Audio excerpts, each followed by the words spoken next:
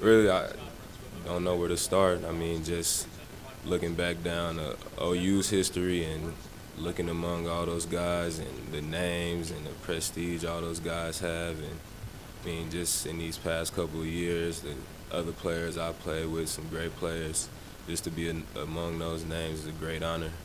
When I found out, I like just thinking about where I all started off, like I just kind of flashback to my first year ever playing football, and uh, kind of get a little emotional knowing, you know, how far I've come as a person. And I mean, it's an individual award, but you know, just being around my teammates and they're playing hard every snap and them demanding excellence and the coaches demanding excellence, I think that plays a huge part in that.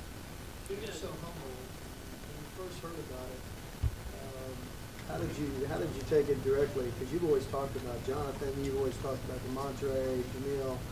And so when you first heard it, how did you react to it? I, I thought it was a joke, actually.